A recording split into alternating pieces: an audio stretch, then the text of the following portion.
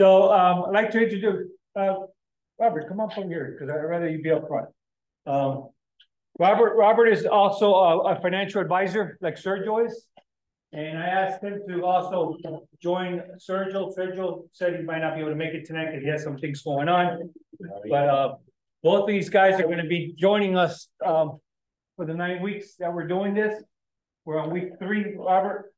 And, um, if you can just go ahead and give a little bit of, uh, insight on what you do, which you're a home financial advisor. And, um, and you offer to be here to assist us in any questions or answers that we might have. And I know you're familiar with, uh, Dave Ramsey course. You're also a graduate of, of, um, uh, Maxwell's, uh, classes. So if you just give a little background of, of those two things that you, what you've done and how you've been able to help people. Uh, good evening, everybody. Uh, it- it's, uh, first of all, uh, congratulations, and I want to acknowledge you guys, because there could be a, a billion different reasons why you're not here today, right? But this is a big deal. And I'm sure you heard the videos, right? Seven out of ten people? Seven out of ten people are broke. They live paycheck to paycheck in America. That's the state of America today. And the fact that you guys are making a, a, a decision to say, you know what? I need to change what I'm doing and I need to, I need to do something different. That's a big deal. Um, and you gotta respect that and give yourselves a lot of credit, the fact that you're even here learning about it. Because that, most people won't even take that step. How do we know? Seven out of ten people live paycheck to paycheck. So, right, this room should be full, right? There should be classes every day. Um, but, so I just want to acknowledge you guys. It's encouraging to me to, to see people in general just saying, hey, you know what? I, I need to commit myself to, to a process, to something different. And I sat in the same chair. I took the class several times.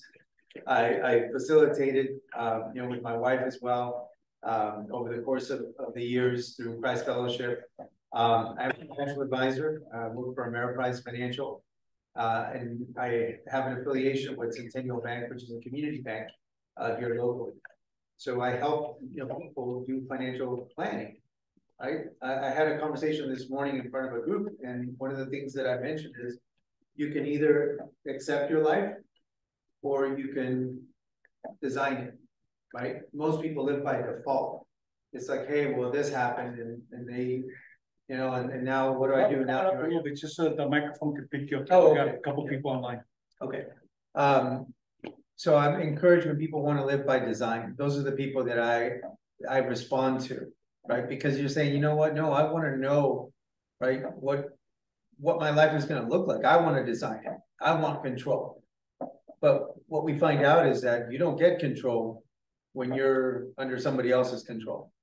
Right, the companies, the credit card companies, your mortgage company, they call the shots until you decide that, hey, you're gonna give yourself some margin, some freedom. That's why it's interesting, it's called financial peace, those words actually don't go together. You know, but that, that's what happens. And I'll just share with you guys, I made a transition recently that if I had debt, other than my mortgage, right, I couldn't have made that, that choice. But I made a choice in the name of freedom and legacy and what I wanted for my family. But most people would just say, well, I'm stuck.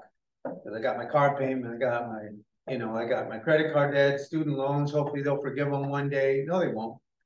They won't, right? But at the end of the day, when you take that control back, now you have freedom to do other things. And to do the things that, that God has put you on this earth to do, right? Because a lot of times we forget. God has given us gifts, abilities, and talents, not for ourselves, so that he can work through us to do and advance, right, the, the church. So it's just a little bit about myself, right? I, I've been a financial advisor for nineteen years. This is my nineteenth year. Um, this is not how I go dressed to work, by the way. Um, my kids had soccer, but soccer got canceled at the last minute because of the rain.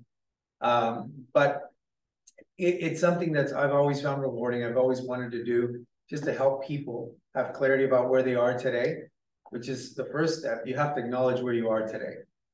Uh, Dave Ramsey always says you can't outspend, you know, or out earn your stupidity is what he says. Because many times that's what I thought. Because I said, well, I can I can make, you know, more, I can go out and make more. But I was never acknowledging what I needed to fix so that I can take advantage of the more that I was making. Instead of spending more. And that's an easy trap that many people fall into. So what you're learning here, right, is is gonna, is gonna help you make a difference. How many of you have children? How many of you have young children or children under eighteen? How many of you have college age kids?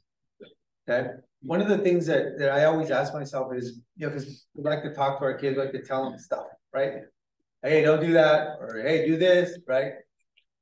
And at some point you have to realize like they're watching you. They're watching what you do.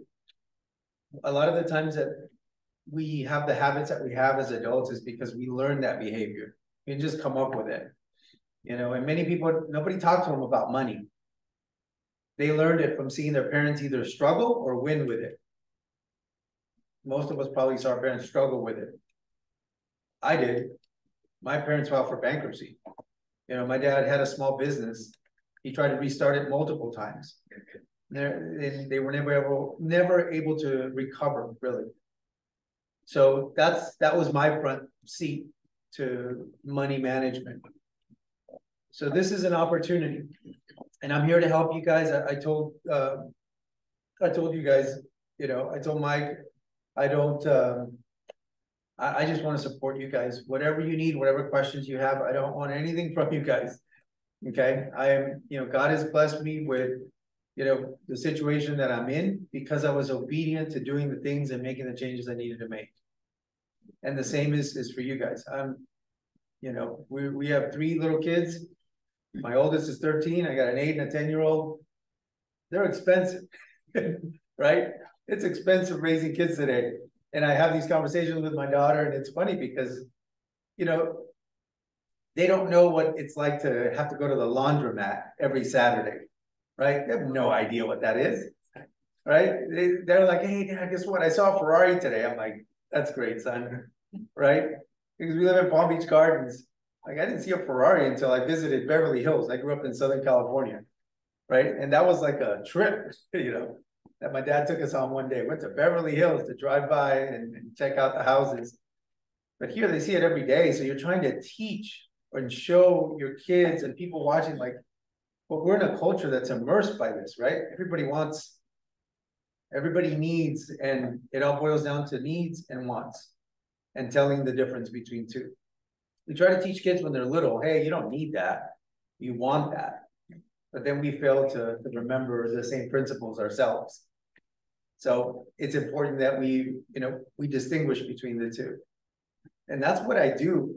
Even whether you got a hundred thousand dollars, ten thousand dollars, a hundred dollars, a million dollars, five million dollars, the principles are the same. The principles don't change. And that's the first thing that he covers. He says it's a fallacy. You're you're you're assuming, you're making assumptions about how people live and what they do.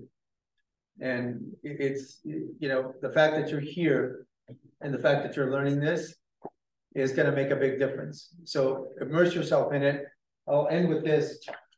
When he told me that you guys were meeting, I took out my little, you guys know what this is, this is RFPU, right?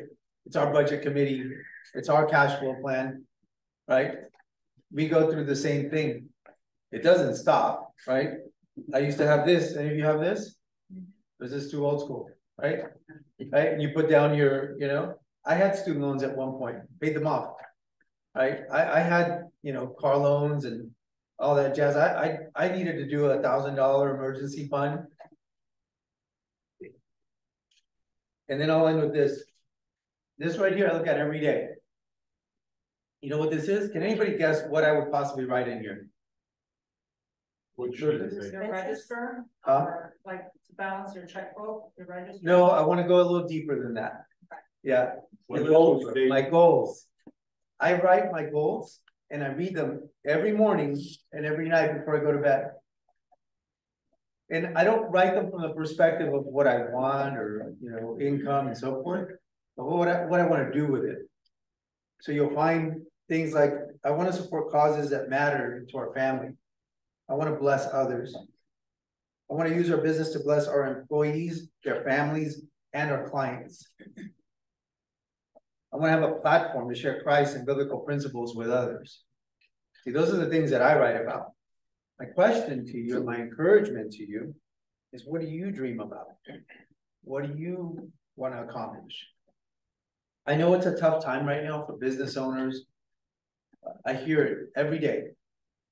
It's a tough time, and I'm gonna tell you right now, as somebody that's been observing the economy for nineteen years. It's probably gonna get worse before it gets better. And then it's gonna get better, and it's gonna get worse, and then it'll get better, and then it'll get worse. But if you do this. If you do this, good times or bad times, you're gonna be better. Regardless of whether it's a worse time or not, you'll be better off. Don't be a victim to circumstance, right? Write down what you want and go after it. You know, I, you gotta put your thoughts to paper. And then it's funny how the mind works, right? Because then you're gonna, you're gonna start thinking about ideas on, on how to do that, things will make sense. You ever meet people who are unhappy with their jobs, but they can't quit because they gotta pay the bills? You ever meet people like that? Don't raise your hand, but you might be people like that, right? Praise God if you don't have to do that. Praise God if you can work towards getting to the point where you don't have to do that. And I'm not gonna sugarcoat it, right? It takes work, it takes time. But you'll be rewarded for your stewardship. You're honoring God and he's gonna honor you.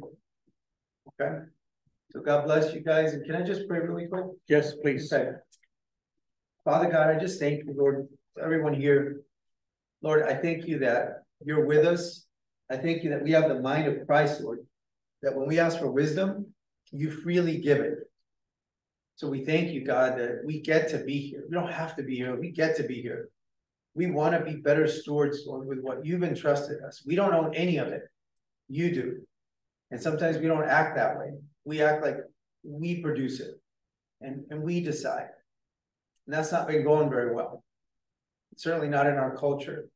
But I just pray, God, that you would open our hearts and our minds ready to receive.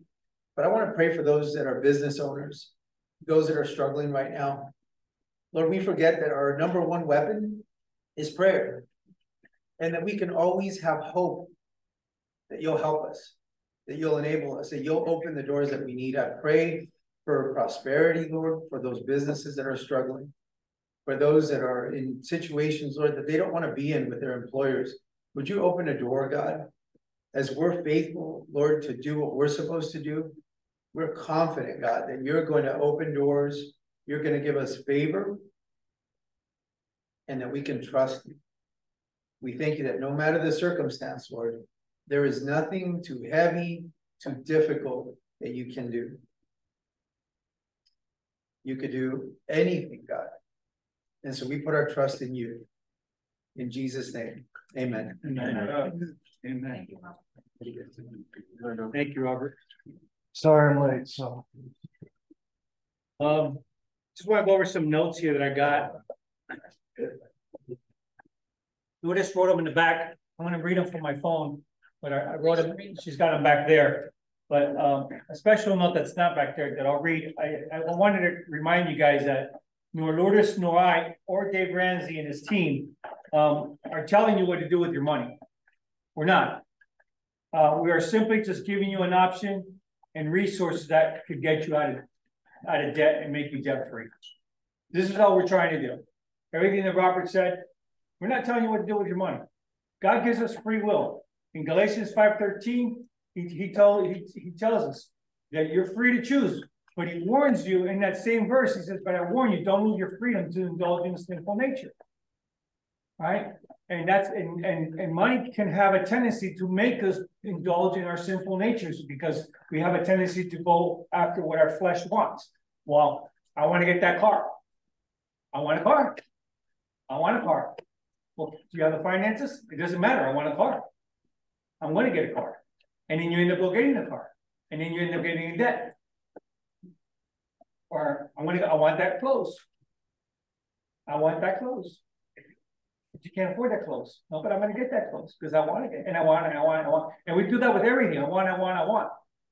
I learned early in business, thankfully God's blessed our business tremendously, but every time I did a job, I'd always bid a little higher when I needed a specific tool for that job. If the tool that I needed that job was five hundred dollars, and the job was maybe three hundred dollars, I'd bid eight hundred dollars. Three hundred, five hundred dollars for the tool I needed, three hundred dollars for the job that, that a profit that I wanted to make on it. And it didn't cost me anything, but I got my tool. Now I had a tool for the next job, and I would do that with all my tools. I mean, I, I got a lot of tools. But all the tools I got, they're all paid cash for it. I didn't get into debt. I didn't go to, every time I go to Home Depot, you want a Home Depot card? No. Why? Because I don't want one. I don't need it. I can't afford it. I don't need it. I'll figure it out. I have to struggle, you know? You know, I can't tell you how many times I used a hammer nail nails in until I can afford an air gun. And I can shoot the nails in. For many, many years, it was, I banged up my thumb and my fingers a lot, a lot of times. So understand that, guys. So a couple of notes that I have back there. Um, it says here, uh, personal finance is eighty percent behavior and only twenty percent head knowledge. This is from Dave Ramsey. Um, he also said, I challenge you to have the first complete monthly budget in place by the end of this week. We're hoping that by next week, at your tables, coaches, please help those that need help, um, encouraging them. But we really want that everybody have their first monthly financial budget completed by our next session. If you haven't done so yet, okay? So let's, let's, uh, let's, let's, let's give ourselves that goal. And then, uh, the next note I put here, and these, these are notes from this book that I'm reading. These are, this is a really, really good book from Dave Ramsey. I, I I shared this last week with you guys, Complete Guide to Money. Um, and these are just notes that I'm pulling out of that book. Um, you'll never, in this one I, not only did I highlight it, but I underlined it. You will never experience genuine financial peace. You will never win with money until you do a budget. I, not only highlighted it, but I underlined it. And you know, as you read the rest of that chapter, it's, it's deep.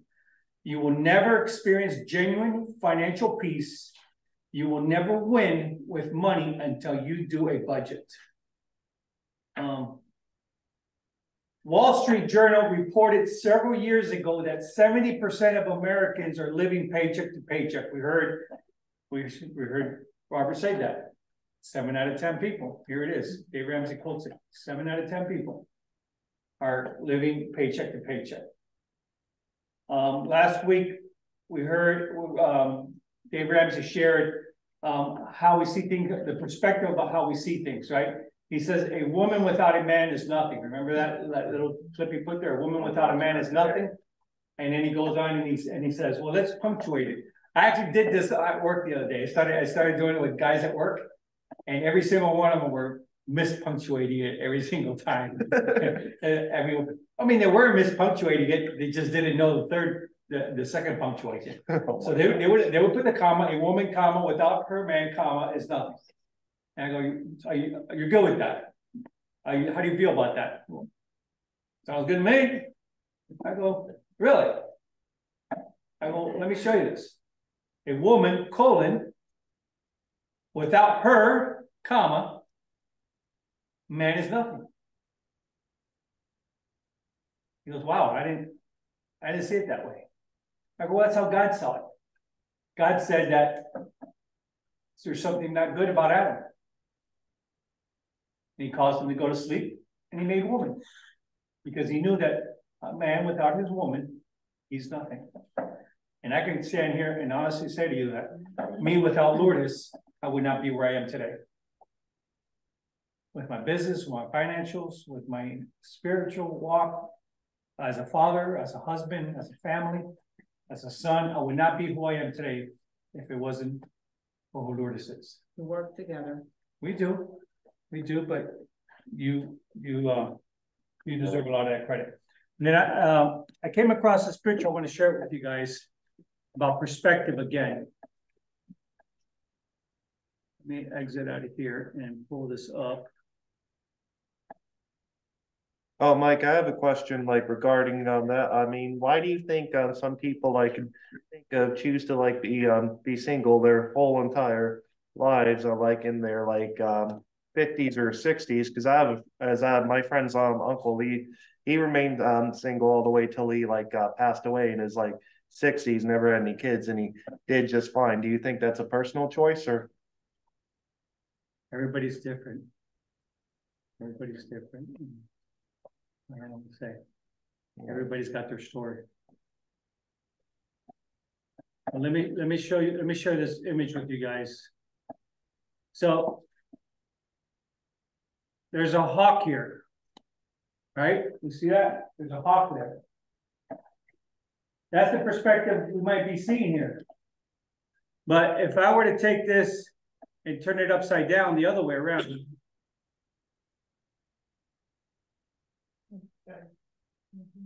If you turn it upside down, let me see if I can turn this upside down.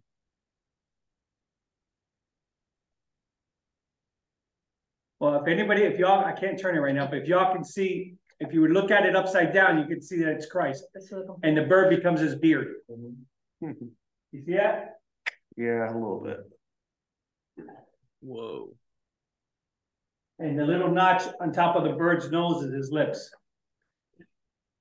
You can do with view, Mike, what a view, I think. perfectly well. You?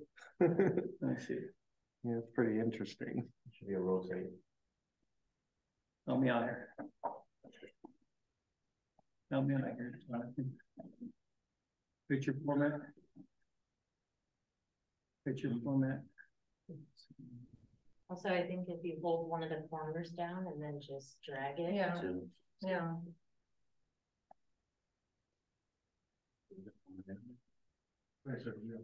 No. Let's see. No, it's just a little bit. Hold one of the corners. No, it just, it just zooms in. Let's see how it- Oh, right here, right Here, it's- I think it's It here. crop maybe. I think it's in that circle. It's gonna cut it, yeah, right here, actually, in the corner, I did see it, a little, it's turning into a little curve. No, it's just to make it bigger. Yeah, let it go to. It's all right. I'll, I'll, I'll send it on the group chat and you, you guys can see it and you can turn it on your phone. But it, it's, it's, again, we're looking at perspective of how we see things. There's always other perspectives of how we see things. So I just, I just figured I wanted to just share that with you guys.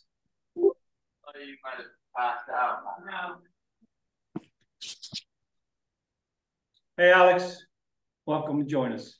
All right, so we're gonna go ahead and jump into the video here. Just want, just wanted to share a couple of things. Um, did anybody, uh, at home? And just a reminder that you have, um, your scissors on your tables if you decide to do some more today. You're welcome to do that. And also just to encourage you all, if you haven't, I'm sure you guys all started your budgets, whether it's the EveryDollar app or you wanna do the paper thing. Um, and hopefully, a a lot of times, the first time around, you struggle a little bit, but as you do it each month, it gets easier. Um, so I encourage you to continue on, don't get frustrated, because I got frustrated many times at the beginning, but you know, continue doing it, it gets, it gets easier and easier for you. So just wanted to, um, bring up those two points. All I right, think let's, uh, start the video. now. let's go ahead and start the video here.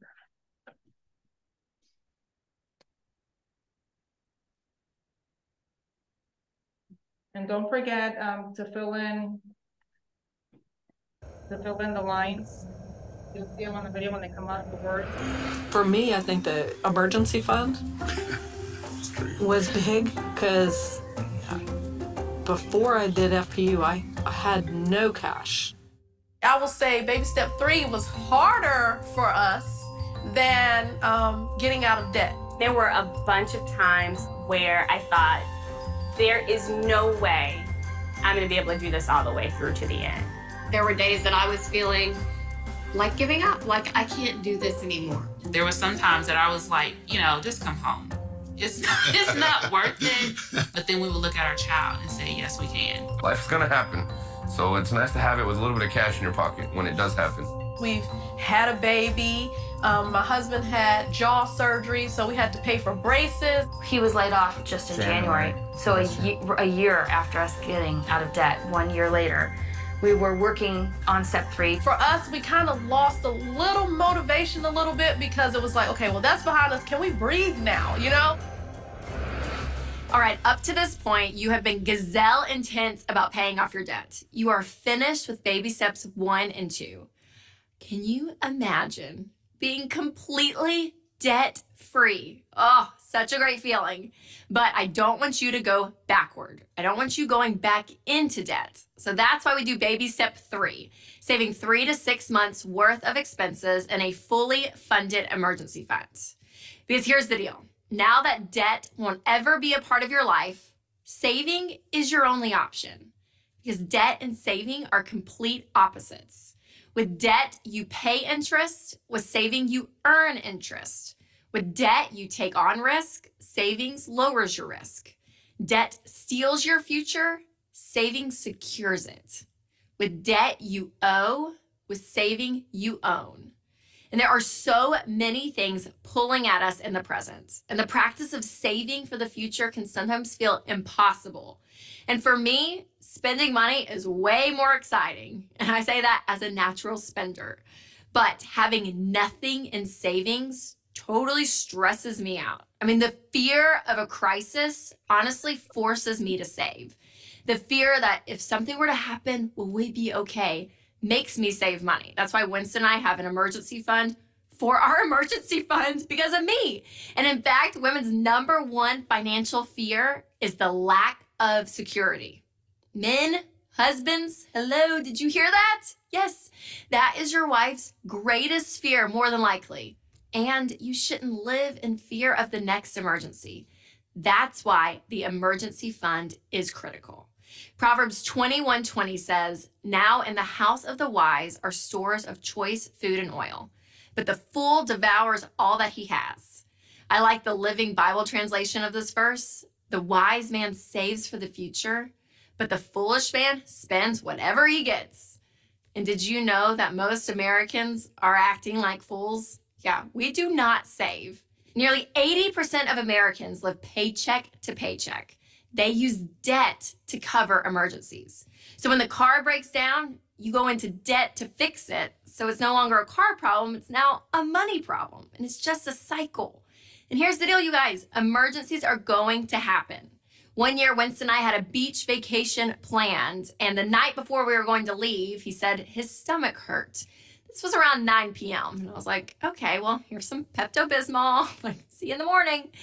And then around 11 p.m., he was like, I can't lay down. Like it hurts so bad. I need to sleep sitting up. And I was like, hmm, that doesn't sound good. And then about 2 a.m., he was like, I think we need to go to the hospital. Now, ladies, I don't know what your husband's like, but when Winston Cruze says he needs to go to the hospital, he's basically dying. I was like, oh my gosh. Yeah, let's go. Do we call an ambulance? And he was like, calm down. No, just get in the car, drive me to the hospital. So we go in. Turns out he had appendicitis. Mm-hmm. Had to go right into emergency surgery.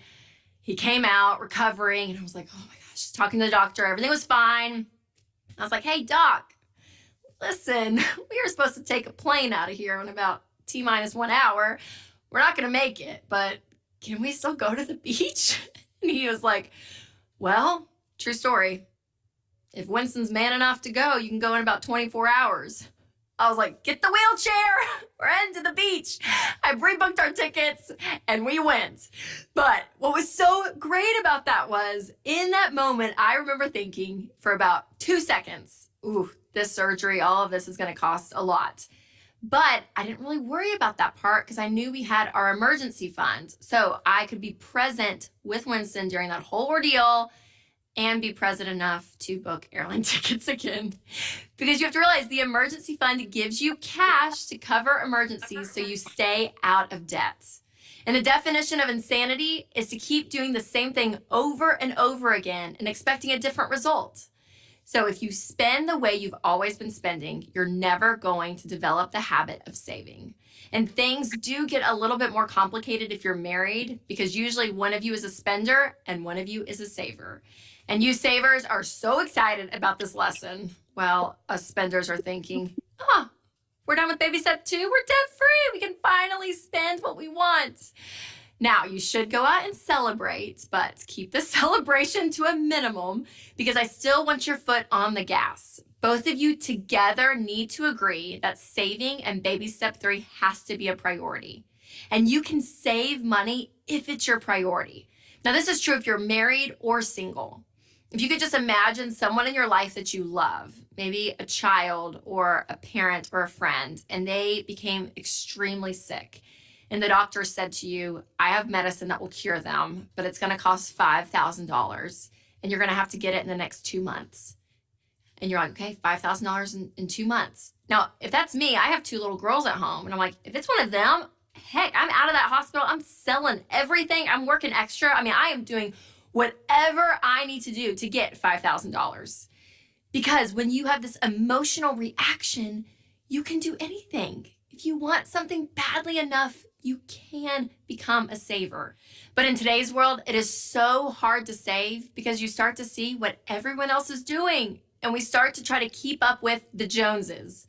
And what's so frustrating is keeping up with the Joneses 10 years ago, you actually had to see the Joneses in person. Now we just carry them around in our back pockets on our phones. And because of social media, you get this window, this picture into everyone else's life.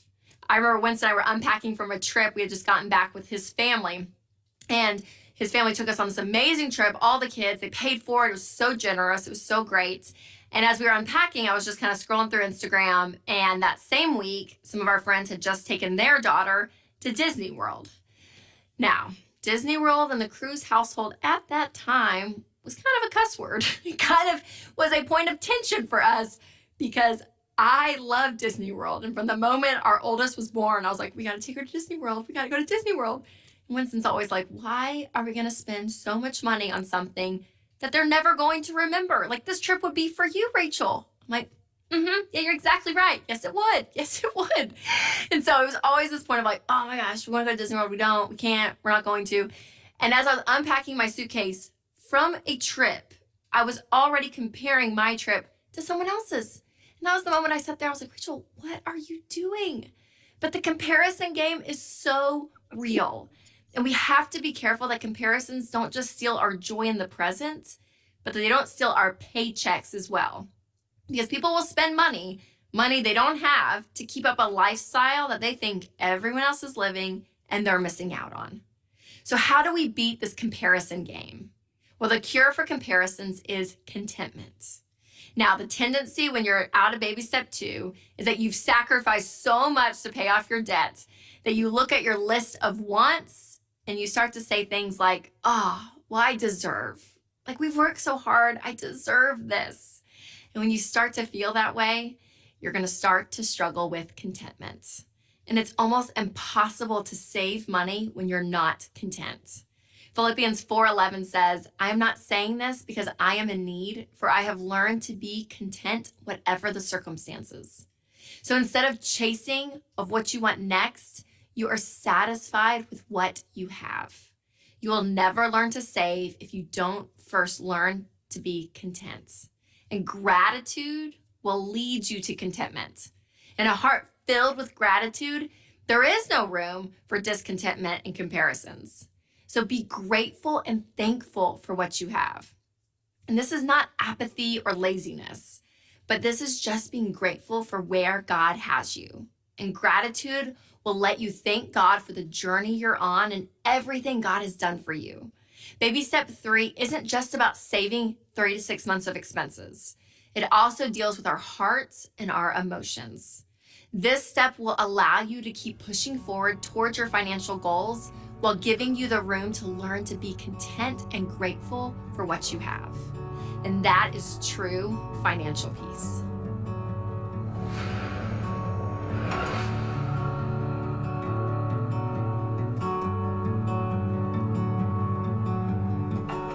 I remember being uh, in the hospital And we had just, at that moment, uh, the month that we, she had gone to the hospital, we got to our three to six months. My wife and I met when I was 22 years old. Our finances, we did everything wrong. We were just choked, had no money. And uh, all of a sudden, you know, everything fell apart.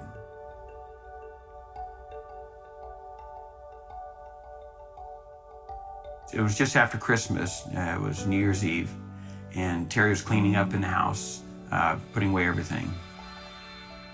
She, she felt something in her neck and uh, came in. She actually came in and said, Man, I can't wake my body up. I can't wake my body up. And uh, she, uh, in a matter of two hours, she became uh, paralyzed. Uh, we don't know why, just she stopped walking, says, I can't walk anymore. And, and I think back um, with my wife that uh, through all that, that three years of getting out of debt, building an emergency fund. And uh, I think back that, you know, even though she was a free spirit, but she was really committed to this. And I really never realized that. that somehow she knew that uh, maybe she wasn't going to make it. And uh, how she, you know, uh, did this for me, did this for me. So uh, over the next uh, three months, she was in and out of the hospital and passed away in November.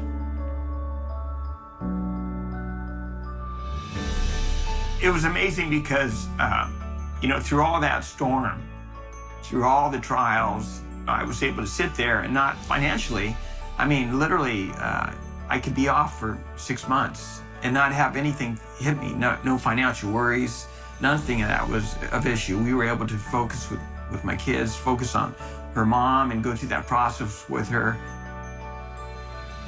I think that was a huge blessing that we didn't really realize that we were preparing for.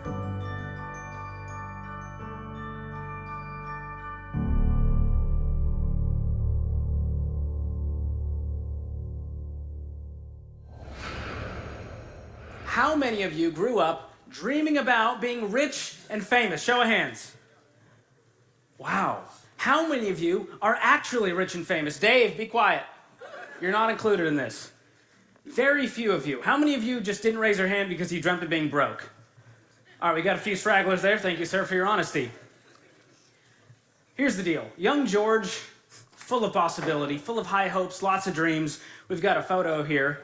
That is a real life photo. Look at the joy in the eyes. Look at the crooked bowl cut. Simpler times. Hey, the 90s were a different time. Young George in the third grade had high hopes of being an astronaut.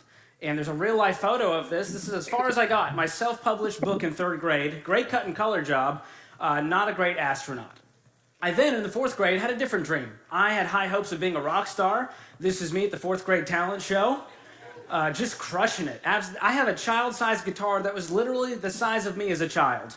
And if you zoom in, you can see my groupies hanging out. My fan club is right there supporting me, admiring my JNCO jean shorts.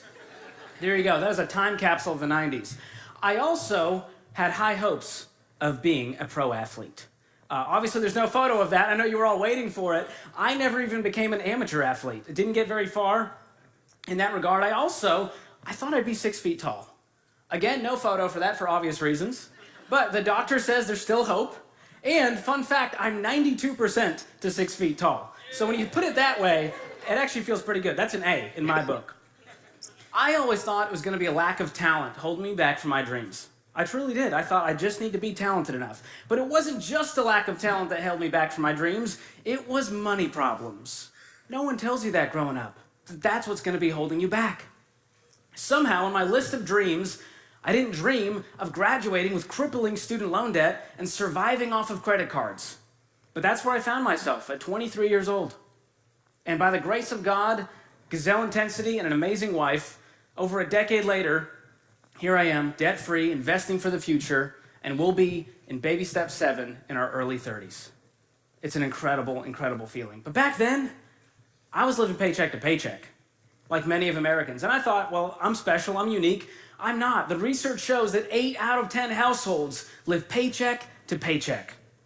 They're not living in a house, they're living in a house of cards. All it takes is one missed payment, One job loss, and that house of cards is coming crashing down. This is a problem. You see, even when you're debt free, if you don't have money for the unexpected, you're going to stay in that cycle. You're going to stay in that cycle of drama, and you're never going to find that financial peace that we talk about. And that's where baby step three comes in. Baby step three is to save three to six months of expenses in a fully funded emergency fund. Three to six months of expenses in a fully funded emergency fund. Think about that for a second. What if you had $20,000 set aside and no debt payments? You don't owe anyone anything. Every dollar works for you. Breathe that in, relax your shoulders. What would that be like to be in that financial position? It's a different thing to face a job loss, a pandemic, a bad HVAC, a flat tire, when you have that kind of money sitting there to protect you. That's what this emergency fund does. It protects you from life. Raise your hand if you've had a car repair in the last 12 months. All right, that's about 90% of you. The, the rest of you, you're on the clock. It's coming for you. I'm not trying to manifest it, but I'm telling you it's going to happen. You know, I prayed a lot growing up as a good Baptist, but I never prayed more than when I got in my car. My first car was a Chevy Cobalt. And I, it wasn't an impressive car. Everything was manual on that thing. And you know it's a bad car when they stopped making it over a decade ago. That's so you know you made a bad decision. And this car, uh, it was it wasn't doing great. I was driving along the interstate one day, and you get that rattly feeling. And I don't know a lot about cars, but I know rattles aren't good. And so I coast off into the sunset, and I get this thing towed to a mechanic. And here's what the mechanic tells me: timing chain jumped teeth, and the pistons hit valves. Y'all, the only word I knew in that sentence was and. That's it. I didn't even know cars had teeth. This is crazy. It was a brand new sentence for me. And $802 later, I was on my merry way driving along. Isn't it funny how when you're broke, you remember exactly how much every emergency costs you, down to the dollar? These days, I couldn't tell you what the last five emergencies cost me. You just yawn and you pay it and you move on with your life. Take two fingers right here, put them against your neck, right here. You feel that? Dear God, I hope you do. That's called a pulse, and that means you're alive. And if you've got a pulse, it means unexpected events are going to occur. I hate to be the bearer of bad news here, but it's going to rain. And I didn't invent this concept. Grandmas all across the world invented this concept. Grandmas are the most prepared people of all time. Negative Nancy's, Debbie Downers, those are both grandmas, okay? And Nance and Deb, they're looking out for your financial future. That's all. They want you to know that you need a rainy day fund because it's going to rain. And people tell me, George, don't be a pessimist. I'm not a pessimist, I'm a realist. And let's be real, it's going to rain. And so I've got some visual aids here. Now, in baby step one, we had a little starter emergency fund, right? And this is great, right? It'll protect you from the little stuff. This is a George sized buffer, right? You're, you're not gonna get super soaked, but it's not gonna protect you if something major hits, right? If you're in a real torrential downpour, this is not going to be enough. And that's baby step one. It's, it's never meant to be enough. It's meant to create a small buffer between you and life. But in baby step three, ho, ho, ho, here's what we're doing in baby step three. We are creating a force field between us and life. Y'all, this is an igloo for me. I could go camping with this thing. This is serious stuff. And that's what baby step three is. It's a giant umbrella that helps us never go back into debt ever again and keeps the stress and worry out of our lives, keeps us from getting wet. That's what this is all about. Now, how many of you have heard of Murphy's Law? Show of hands, how many have heard of Murphy's Law? Beautiful. Murphy's Law states anything that can go wrong will go wrong. Talk about a pessimist. Goodness, Murphy started it. Now, how many of you have heard of Cole's Law? Oh my goodness. None of you, it's just thinly sliced raw cabbage with carrots served cold with mayo. How have none of you heard of coleslaw? This is amazing to me.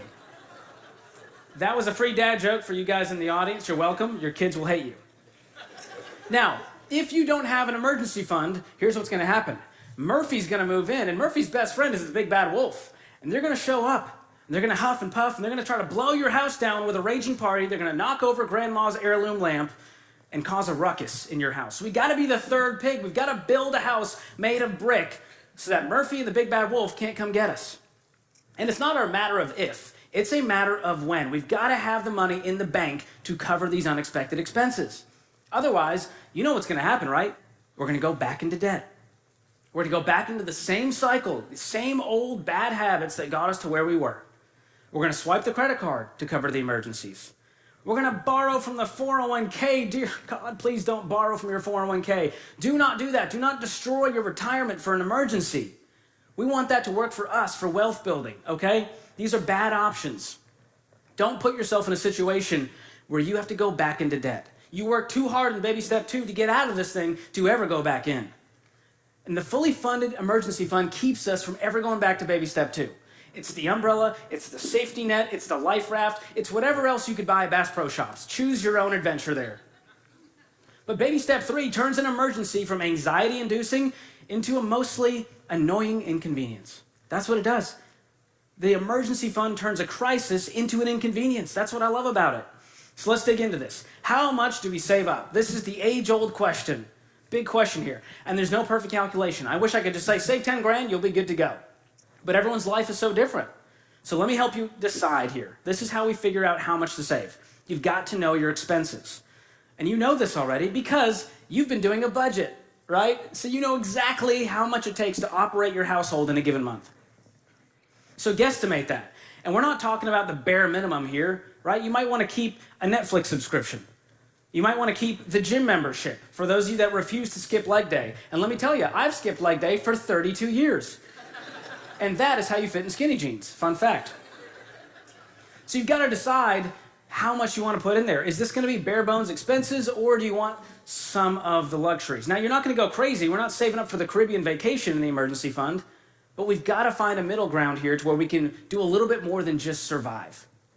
So once you decide on that number for one month, you're going to multiply it by three or six or somewhere in between. And now you ask again, well, how do you figure that out?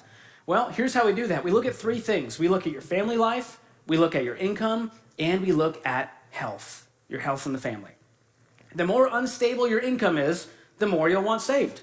It's that simple. So here's what I want you to do. I want you to save six months of expenses if you fall into any of these categories. You're married with one income, you're a single parent, you're self employed, or you work on commission, or you have a highly irregular income, or maybe you work a seasonal job. Maybe there's a chronic illness in the family that you've got to take care of. In those cases, I want you to save up six months because there's a bigger, meaner storm to weather if something goes down. Now, on the other side of the spectrum, I want you to save at least three months of expenses if you fall into either of these categories. You're single with no dependents and a stable income, or you're married and both of you have a stable income. So let's talk about some examples here. If you're single and you have no kids and you're living your best life, you can save three months. Yeah, I heard a shout out. Way to go, ma'am. Crushing it. Crushing the game. Now, if you're a teacher and a postal worker, both pretty stable government jobs, very low chance of getting laid off here. So you can save up three months. But if you've got a stay at home parent and the other spouse works on commission, I want you to save up six months. That's a riskier financial position to be in. So you decide, but make sure that this number gives you security. That's the whole point. And if you're married, please agree on this number. Have a conversation with your spouse, meet somewhere in the middle if you have to, but make sure that you both feel good about where you're at. Now, we talked about how much to save. Now, let's talk about where to put it. You've got to be careful where you put this thing. Do not put it in the sock drawer. And here's why. According to Samsung, 15 socks go missing every year for the average American. 15 socks go missing. Don't put the money there, it's cursed. It's like the Bermuda Triangle. Who knows what happens to those socks? Don't put any money in there. So here's what I want you to do with that. Your emergency fund should be easy to access, secure, and liquid. Liquid just means you can get to it very, very easily. So I want you to put this money in a simple savings account that's attached to your checking account, in a money market account with your bank, or a high yield savings account with an online bank. And high yield is a hilarious term because guess how much interest you're going to get at most from any of these? Maybe about a half a percent right now. That sucks. But here's the good news earning interest is not the point of the emergency fund. So don't worry about that. An emergency fund is insurance, not an investment. Say, not an investment. Not an investment. You guys are good. You're following instructions. Here's the difference investments are money that make you money. We all like that. Insurance costs you money to protect the things that make you money. You buy insurance to protect your house, to protect your health, to replace your income if you die. That's what it's there for. So your emergency fund is not an investment. It protects you from Murphy and the big bad wolf. And now here's the thing, you're going to have 10,000, 20,000, 15,000 just sitting there in that bank account. Boring. Good. It's supposed to be boring. It's not supposed to be sophisticated. This is not meant to invest in Dogecoin, okay? This is meant to protect you, so do not touch it unless you have a true emergency. Which brings us to my next point. When do you actually use the emergency fund? To do this, we're going to play a little game. It's called Woo or Boo. I'm going to give you a scenario. If it is a true emergency, you are happy about that. We are going to cheer and hoop and holler and woo. If it is not a true emergency, I want you to boo. So we're going to test this out. Let's hear a big woo. Woo! Pretty good. Now let's hear a boo. You know, I asked for that and it still hurt a little bit. It still felt like a personal attack. So let's test this out. Remember, if it's a true emergency, woo. Not an emergency, boo. Flat tire. Good, there's some groupthink there. Some of you were waiting for someone else to chime in. You phoned a friend on that one. All right, the iPhone 14s Max Pro just released and you want to upgrade. Good work. Not an emergency. Uh, your kid broke their arm. Well, don't be so happy about it. Little Jimmy broke his arm on the playground. Have some compassion. But that was the right answer. I will say that. There's an emergency vacation that you got to take with your friends. Good answer. Not an emergency. All right, last one. The dishwasher breaks. Ah, some mixed reactions here. Some of you know that you can hand wash dishes. This is great news. Some of you are under 30 and you refuse to live on Little House on the Prairie. You didn't sign up for that, okay? Now, in the Kamel house, this might be an emergency, okay? My parents didn't immigrate to this country so I could hand wash dishes. This is a big deal.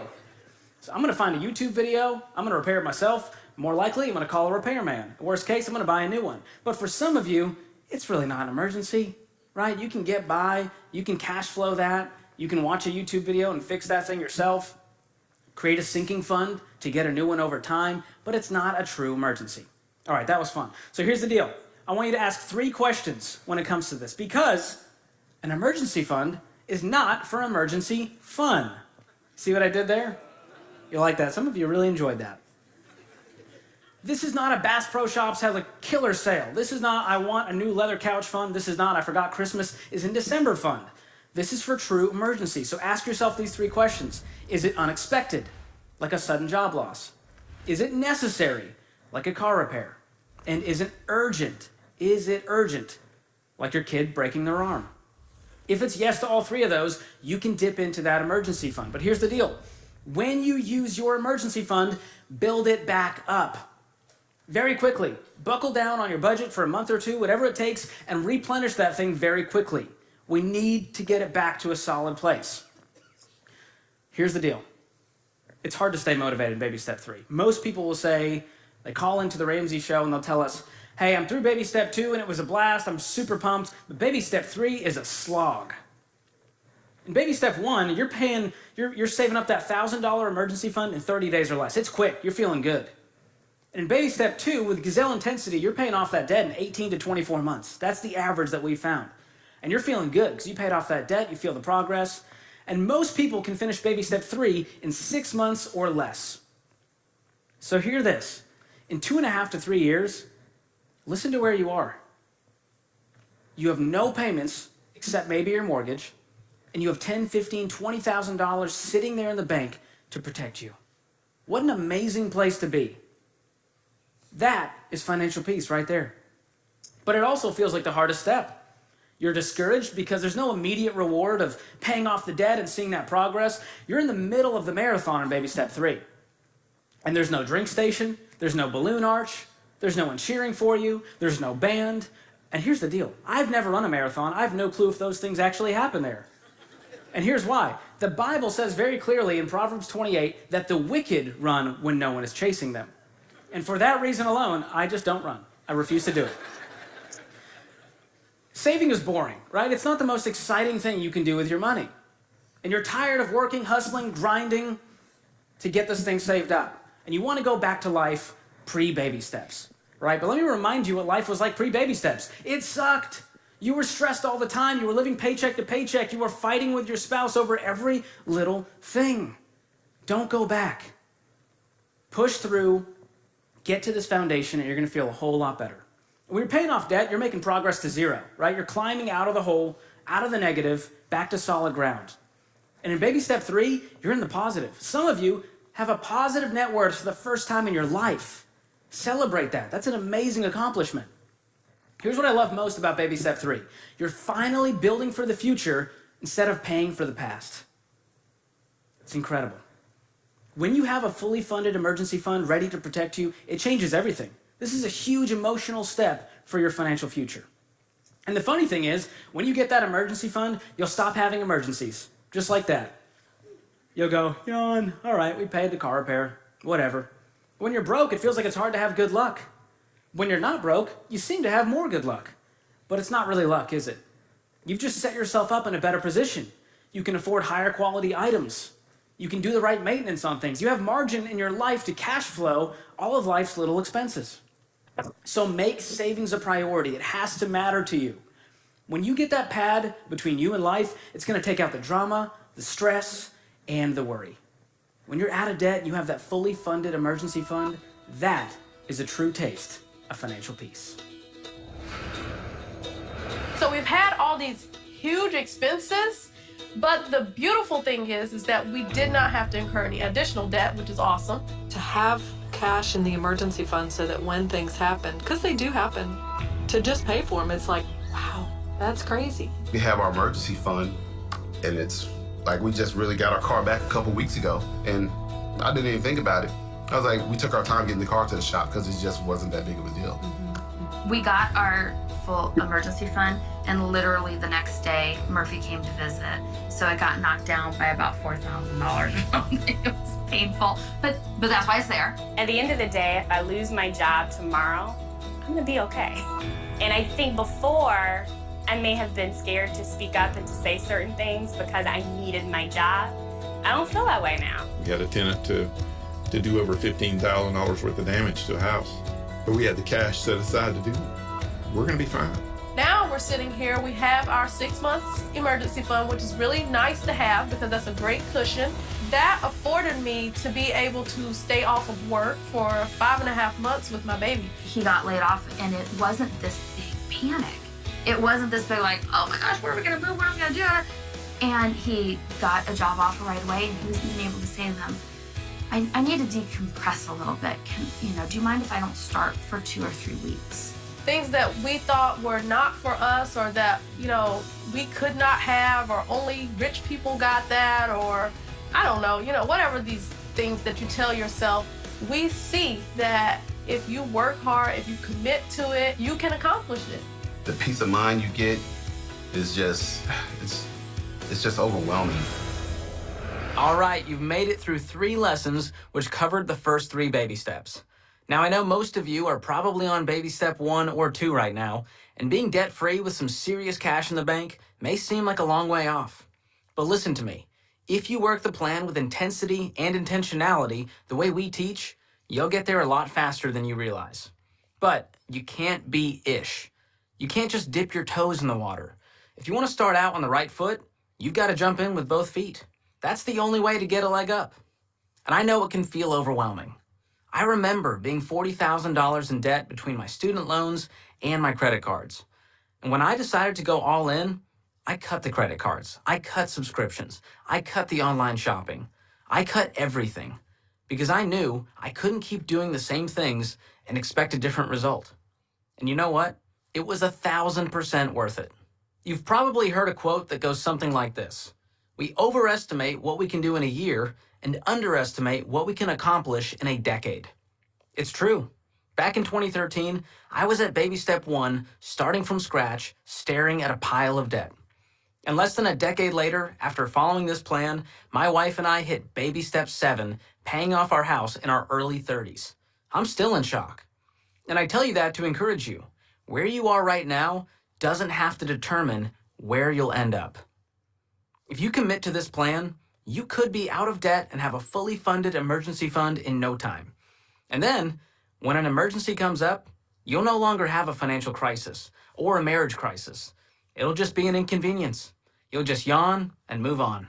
Hmm, I like that. Remember, the sacrifices you're making in baby steps one through three won't last forever. Slashing expenses, working extra jobs, selling a bunch of stuff, I know may not be your idea of a good time, but you will get your life back. Soon enough, you'll be eating out again, going on vacations, and buying stuff without guilt, and obviously without debt. Dave said it best you're living like no one else, so later you can live and give like no one else. In the next lesson, you'll learn about baby steps four through seven, which is where you'll start to shift gears and focus on building for the future instead of paying for the past. I bet you like the sound of that. These next steps are for the long haul, and they will set you up for an incredible life and legacy if you follow them. You'll get to start dreaming about the future you really want. And that's the kind of motivation that makes you do crazy things like skip vacations, take second and third jobs, downsize your house, and yes, even hand wash your dishes like grandma did. You absolutely can do this stuff. I mean, if cauliflower can somehow become pizza, you, my friend, can do anything. Now it's time for your one minute takeaway. Write down one thing you're going to do this week based on what you just learned. What's your one minute takeaway?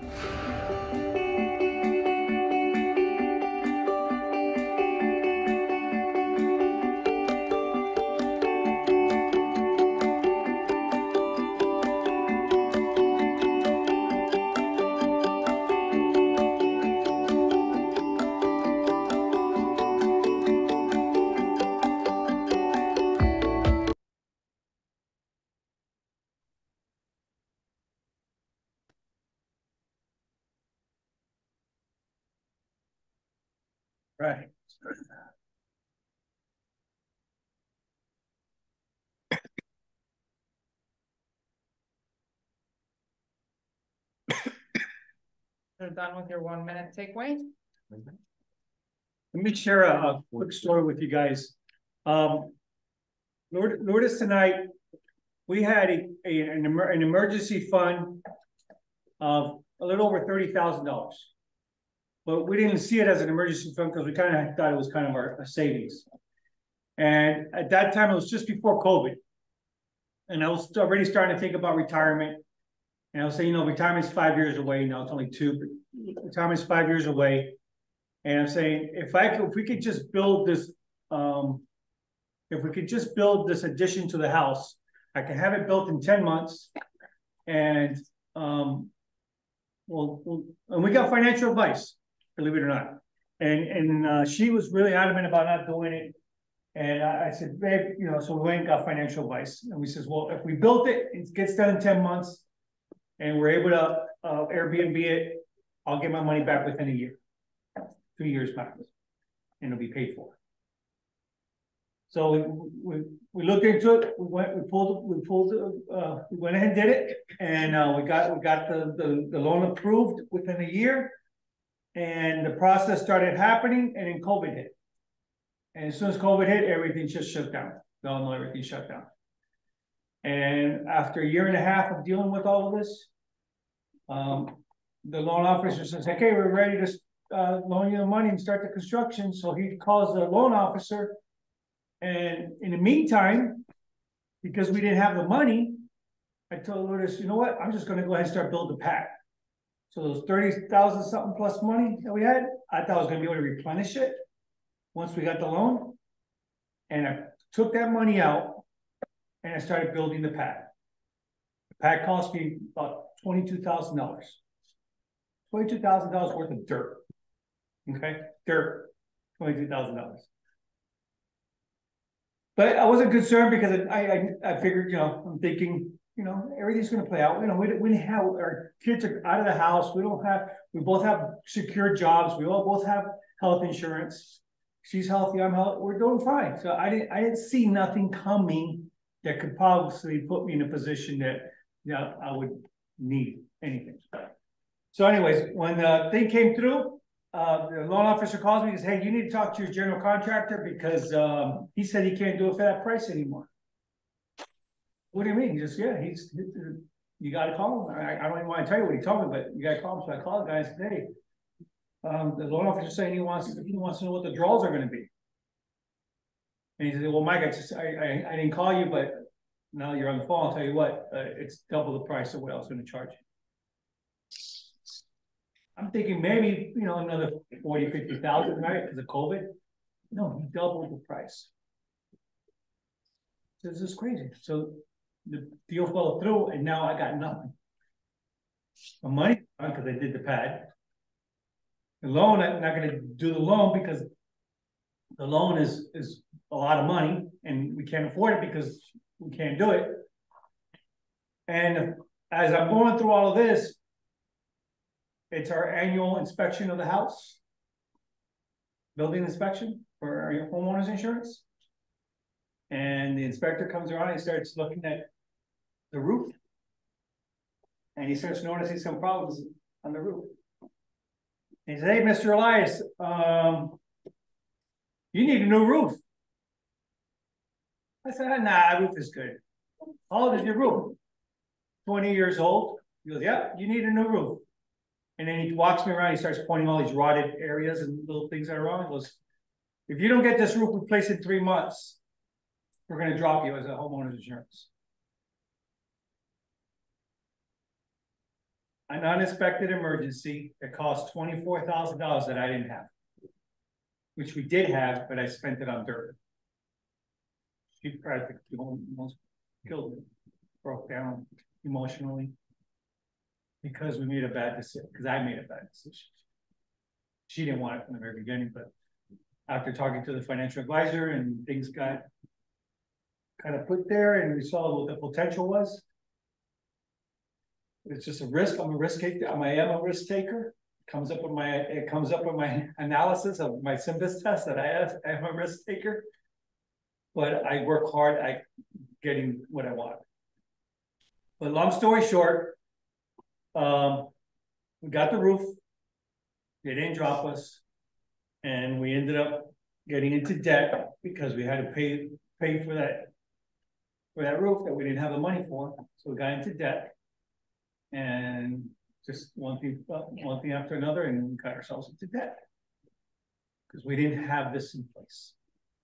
We have this in place. And as soon as we started this class, we her and I said to her, that was one of our biggest, most recent mistakes with our finances. One of the biggest, most recent mistakes. Guys, this is real. When they're telling you a story, the storm is coming, the storm is coming. You just don't know what it is. It's going to come. Please take this seriously. Take this advice. Cut up those credit cards. If you still got them, cut them up today. Let's cut them. Cut them. It's not worth it. Cut them. It really ain't worth it. Stop holding on to something that's really going to put you in a position where you're going to regret it down the road. Start paying for things. Carry cash around. If you're using a debit card, don't use a debit card anymore. Use cash. Once your cash runs out of your pocket, it runs out. I know people that have used de debit cards. I've used debit card, and you over and you end up overdrawing too. You end up and now you're overdrawn, and now it, it, starts dominating the effect, and then this bounces, that bounces, this bounces, that bounces. When you have pocket, it's gone, it's gone. You know you can't spend any more money. Plus, it, it, like Dave Ramsey says, it does hurt when you don't have any more money. Man, it's my last five bucks, man, and I don't want five bucks for another week. Peanut butter sandwiches are looking pretty good right now. And that's what we start doing. We start making peanut butter and jelly sandwiches because we start taking and that's what we have to do. And I, and I just I, I, I just wanted to share that, that story with you guys. Uh, we we got some things. Uh, uh, a story we're gonna. Robert, anything you want to add to what I just said um, from what we saw and what I just shared right now? What Mike said, uh, you know, you got to stop using your cut off the credit card. You got to stop using a debit card. Get used to cash. It's natural to go, well, I mean, that's a stretch, Mike, you know, like if we're honest, like that's the first, when that voice starts to creep up. Right, you have to ask yourself. Am I getting the results that I want by doing it my way? You've got to remind you, right? Am I getting the, when that voice creeps up, well, that sounds a bit extreme. You need to talk to yourself and go, wait, am I getting the results that I want with the way I've been doing it? Because we have to fight that, that urge to say, well, no, I mean, that's a bit extreme, you know, like, come on. Everybody's got a car payment. It's a line item on every budget, you know, I can manage, I make enough, right? Until you don't. Right? Ever hear of Mike Tyson, right? Everybody's got a plan. Oh, yeah. Right? And then what happens? So just keep that in mind and pay attention to that voice, because there's a lot of resistance.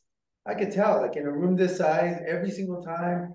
I mean, I, you know, just talking to clients, they get uneasy, but I'm like, wait a second, like, let's examine this again. Right? So the budget's very important. Very, very important. Thank you, Robert. Um, so, um, so you heard about the contentment from Rachel in the video, and you learned about the importance of having an emergency fund from George. This will protect you from going back into debt when Murphy shows up. That's why it's so important to stay gazelle intense through baby step three. Let's do a case study that shows us to do that. So let's go ahead and turn to page fifty-two. And let's look at the case study by two couples who are saving for baby step three. Work through the case study, then we'll discuss the answers as well as how you can stay focused even after you're debt free. So on page two, um, stay gazelle intense. Let's look at two couples. We'll call them Brian and Heather and Ashton and Kelsey. Both couples were gazelle intense and made extreme sacrifices to pay off their debt. They're finally debt free. Baby step two, check. They take a few weeks to breathe and celebrate before they dive into baby step three. But now they're ready to get their fully funded emergency fund up and running. They look at their current savings and expenses and decide on their emergency fund goal. So here are their numbers. Thousand dollars current emergency fund, two thousand dollars current monthly expenses, and twelve thousand for fully uh, funded emergency fund goal. That's their goal. It says both couples are single income households and need a six month emergency fund. So they need to, their goal is to save twelve thousand dollars. So uh, on the next page, it says how to save for baby step three. With a thousand dollars already in the bank from baby step one, how many months will it take each couple to reach their twelve thousand dollar goal? So you have those two couples there. Brian and Heather continue celebrating and let off the gas. They only put three hundred dollars per month in their emergency fund. So how many months does it take them to save? Twelve thousand thirty-seven months.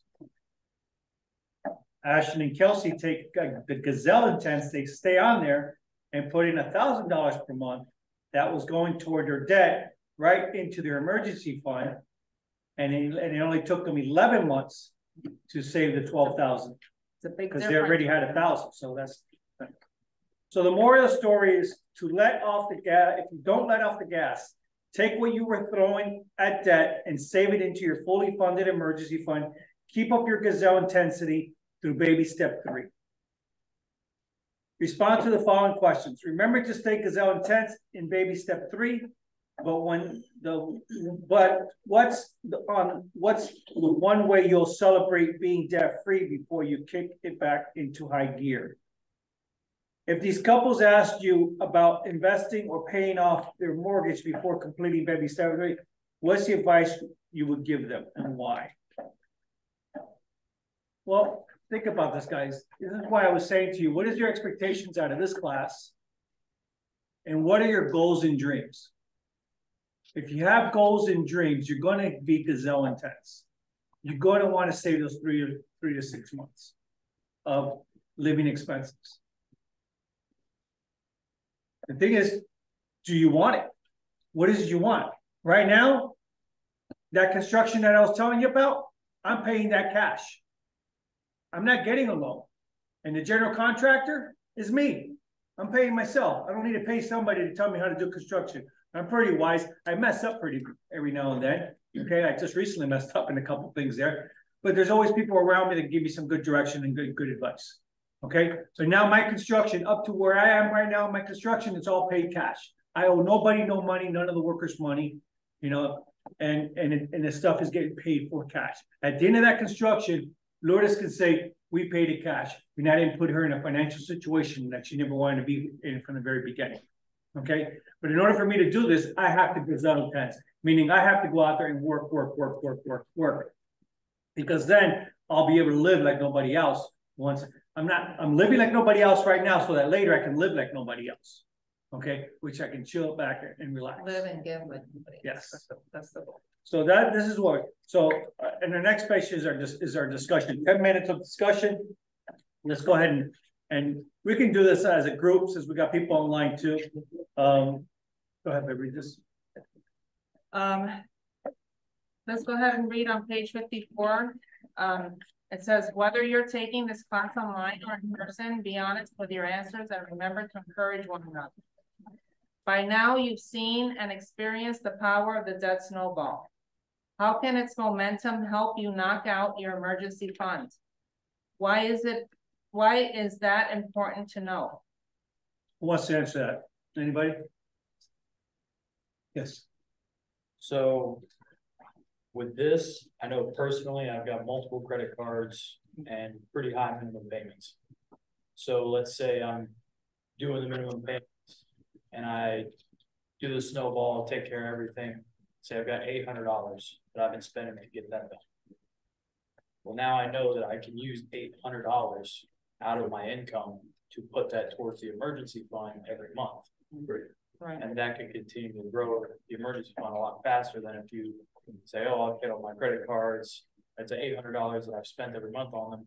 Well, let me just put four hundred into it, and continue from there and see what happens. That's like kind of doing it halfway. Yeah. Yeah, you're paying, you're actually paying yourself instead of paying your debt to all these creditors. You know, and that's the whole plan. The money that you, you were paying, you were using to pay the bills, you're paying yourself. It's going into your emergency fund and that's how you're gonna grow the emergency fund. So, but remember, you're gonna start with your, your shortest, your credit Yeah, card has the, the least amount. And start paying into that with intensity.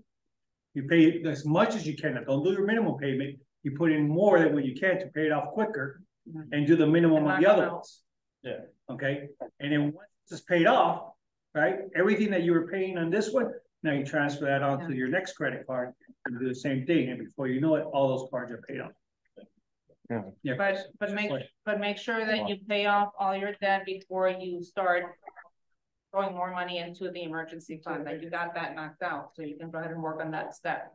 Go ahead, Chris. So about like um two uh two uh weeks ago, so I had an oil change and then a couple weeks like and then week or two like later, this was a couple days before I went to um uh New York for a couple days because I had a wedding to go to um up um up up there. I got my uh, oil change and tires rotated and then I pull up to the um tire shop on Tenth Avenue in Congress because like um I needed um new I needed my tires rotated again pretty bad and I was losing like um tr- I was losing tread and all that stuff which like um um so like that that cost me um a good amount of money and I ended up putting that on a credit card or two like uh day later and then that got me in the bill about twelve dollars. Just remember, Chris, your oil change, your tire rotation, that's a regular expense, it's not an emergency. You budget for that. I know, but I was like losing tread, so Okay, but it doesn't matter, You need it's- you budget for that, you gotta, you gotta set your goals. Cause everybody's gotta change their tires, everybody's gotta change their oils, it's all about doing a budget, cause you got those, you gotta work it out in your budget, when is it that, when is it that you need your oil change? That's why every month, you gotta create a new budget every month. So if you're seeing that your tires are, are starting to get low, you know that maybe you have, you, you can take it and they'll tell you how much longer you can drive with those tires. And so it doesn't become an emergency. So you take it to the tire store, says, hey, yeah, you got, you got about an eighth of an inch of tire tread still, okay? So you can probably drive it for another two months. So now you put that budget, I got two months that I need to save up for to replace the tire and not use your emergency fund. And that's what they Because call you- the sinking fund. You Yeah. plan for it. Side- Yeah, I realized ever since I've been uh, 28, I've been out of high school for 10 years. I never had an, an emergency fund because when you graduate high school, they don't really tell you all this stuff too. I mean, they just. Well, we're they- learning it now. Oh yeah, of course. All you right. just graduate from high school and they're like, bye, uh, bye, Mr. Wilmot. Have a good life. Try to figure everything out on your own now. So. Get into that. Thank you, Chris. All right, uh, oh, Victor, uh, take number, number two from your table. When have, when have you wished you had Mur- uh, Murphy repellent in your life?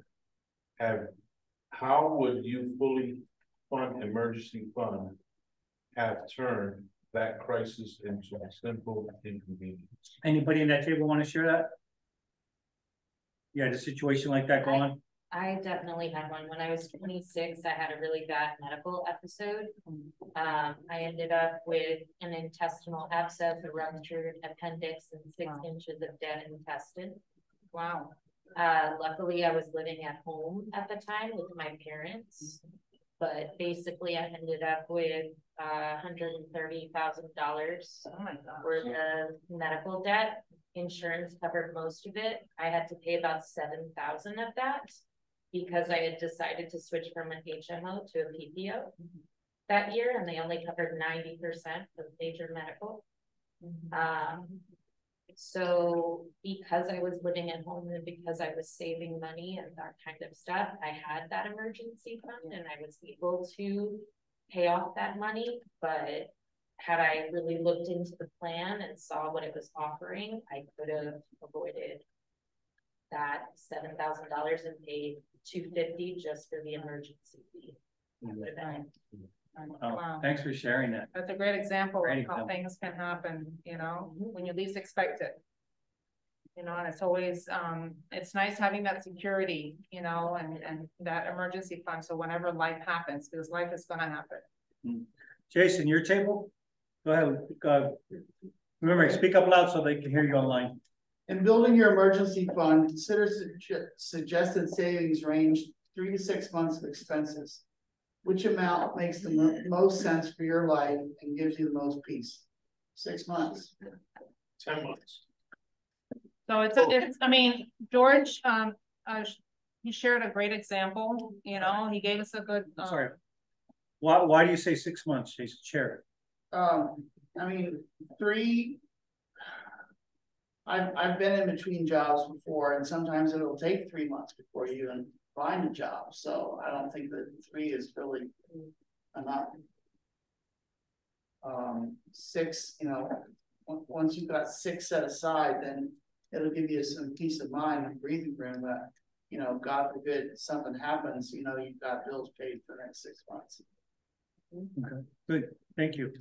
Were you saying? Um, I was just saying that, um, George shared a perfect ex- example, how everybody's, you know, the different scenarios pretty much on what he uh, recommends as far as how much, you know, how many months you have to, of an, of an emergency fund you have to save for, and, uh, everybody has a different scenario, but, um, that was a great, uh, tool, uh, what he shared, you know, and giving you a, a- an idea of how much money you need to save for your household, for your scenario, depending on whether you're single, you're married, uh, or if you have two incomes versus just one income coming in.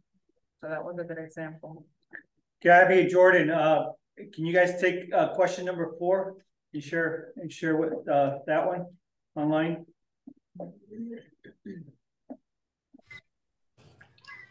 One second, let me see. Do you want me to read it? Read it and then just go ahead and, and respond to the question. Okay. Once you're debt free, it can be tempting to let your foot off the gas and taper off the intensity. But we want you to move through the first three baby steps as fast as you can. What are some practical things you can do to maintain your gazelle intensity in baby number three? Baby step number three. Um, definitely cutting back on eating out.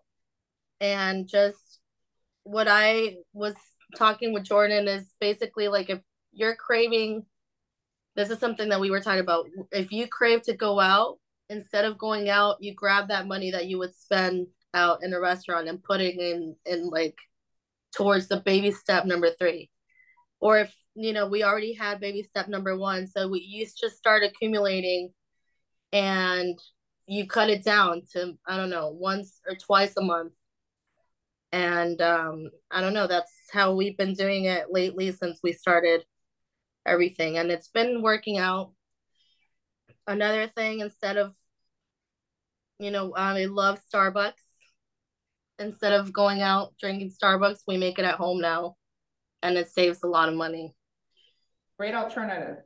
And you can still have your coffee, your Starbucks coffee. Can I, uh, share? That's this? right. Can I share something and be a little transparent? You guys speak up so they can hear you. So just, uh, um, I- I shared with you guys a couple, of uh, week, a week ago that, um, my wife actually was debt free.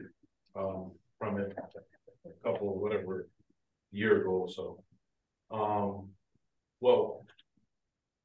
The point, in the sense of what you were saying, we had five credit cards when we took this class, and we were about twenty-one thousand dollars debt. And we were paying two hundred dollars into, get into each credit card when it was only a minimum of hundred, right? But then when we saw, when we got this class, we took the two hundred from here, to uh, about hundred and fifty from here, hundred fifty from here, a hundred, a hundred. And then we added six hundred and we did the snowball effect, right? And then after the fact, that we did that, we were able to save a thousand dollars a month, every month. Okay, every month. When we were debt free. When we got to the, I think it was like level four, four or something. Baby step four. Baby step four, uh. You know, we got into this thing that my wife was like, well, I need a car. What happened over here, when we was talking about, we ended up getting a car for my wife. Now we're paying seven hundred dollars towards this car. When she had a car that had no payment. Then, uh, we got into a, uh, a bigger, uh, wedding band that she wanted that costed us another nine thousand dollars on top of the ring that she already had. And now I've been paying four hundred and ten dollars towards it every month. So when I try to explain this to my wife, do you actually see that we cannot save a thousand dollars and Okay, it's a big thing. I mean, I it literally, I, I wish I could pull my hairs out when I, and I don't have it, you know, but sometimes we don't see that. Okay, and what we see is that we have the money and we're able to go and spend it and get what what it said, what we want, mm-hmm. right? Mm-hmm. And I'll never forget the day taking my wife to this dealership. And all I was thinking, and I was walking behind her, and I was like, she is just a uh, what's that word I want to say? Um, uh, like this Very demanding. well, well, no, like, uh, like, oh, all right, she's just, she's just gonna get caught, but she doesn't even know. Like, when I go fishing, I go catch fish, and that fish doesn't know he- you know, got caught. Well, that's what my wife, I was looking at my wife that way. I was like, she's just gonna get caught. She didn't even know how much money she's gonna pay in entrance, how much this, You should how have, you much. should have let her do. Right. All the arrangements. Right. and Stayed out. And I stood away from it, right? And I was just like, okay, and then there's some little talks that we always have, and I always say to her, do you see what I was trying to tell you mm-hmm. before? We had this. We were able to save this, mm-hmm. but because of what we want and what you wanted, and I wanted to make you happy, right? That's, you know, that's what husband, right? Right? Oh, yeah. So, I mean, I didn't want to say but, right? Mm-hmm. And I allowed that to happen instead of stepping the foot, you know, in, in Spanish, we say, Yep. you know, step on it and With no, love. it's not, right, with with love. love. And it's, no, it's not gonna go that way, but unfortunately, I didn't do it that way. And, and I was, and now I'm back into this situation where I cannot save a thousand dollars hmm. because here I'm back into this debt situation again. And she, Okay. she sees that difference, that, what, what does she say about it? She does, but does she say about you know, because of that, she thinks that, oh, no, everything's gonna be fine, everything's gonna be okay. No, it's not gonna be okay because we don't have that extra money mm-hmm. That we should be having. Exactly. You know, if something does happen to you, you know, I wish she was here, you know, to be honest with you, and she's actually taking a class to be a registered behavior technician. And that's what she's actually trying to do, and she wants to make her, you know, her money a little bit higher than what she's making now. But it makes it even harder when this is a teaching that she needs to learn, Mm-hmm. and she's not here for this, right? And then with me being frustrated, sometimes I don't even want to explain it to her because it's gonna go one, through one ear and go out through the other, right? I get it. Because get it. you get, you guys, you, you understand what I'm saying? I- I get Yes, it. sir. So it, this is very important and, you know, saving a thousand dollars a month, I mean, that's good. And this is, and this is where, you know, when we, it's important when you're married. And you're in a relationship, it's important to do this class together. Together, And so I, I, I, I get you, I get you. I tried reaching out to her. Um, and, you know, and I understand she's got the other class that she's gotta do, but, um, it's, it's important that you guys, that couples do this together. Yeah. Because you have this, when you're married, when you're in a, uh, in a relationship and you're married, um, you need to do this together. Um, just like we learned at the beginning with Dave Ram, you know, when he was talking about the fact that, or, um, Rachel. Um, how there's always one in the couple that's the budget person, that's the numbers person, and the other one is the spender. E- and Mike, you know, I'm, I'm the budget person, I'm the nerd, and Mike was always the spender, but, and he was, and he never liked to sit down and, and, and look at numbers or, or see the budget. But he knows it's something that we have to do as a couple. You know, it's, it's something that, that's not his comfort zone and it's not something he enjoys doing, but he knows it's important. You know, for our future, and we need to work on this together, whether we like it or not, we need to, because it's for our own good. Um, so, you It's know, it's very important. important, it is very important, and you know, I'm actually getting a lot more in this class than what I got in the last class. Yeah. Actually hearing a little bit more, Right. cleaning my ears a little bit more.